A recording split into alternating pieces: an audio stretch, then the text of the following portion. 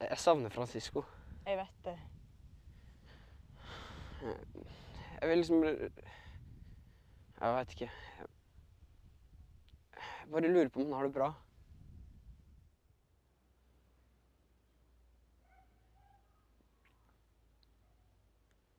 Det var noe med han. Han krapla Pedro. Ja, men Han var en psykopat. Du er så jævla ufølsom! Han var det. Han krøpla Pedro. Pedro var psykotisk! Det var jo Francisco òg.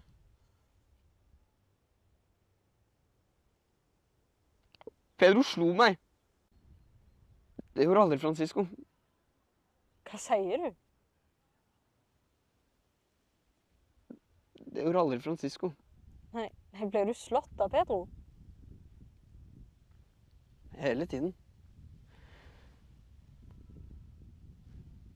Så den gang Francisco sklei på bøtta og krøpla Pedro Jeg Tror det var hevn, ja.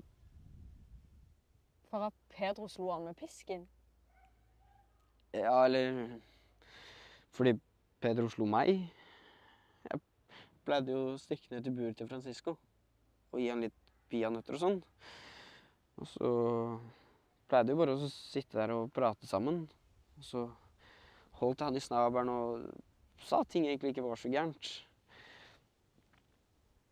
Så dagen etter så slo Pedro meg i filler fordi jeg glemte å tømme møkka.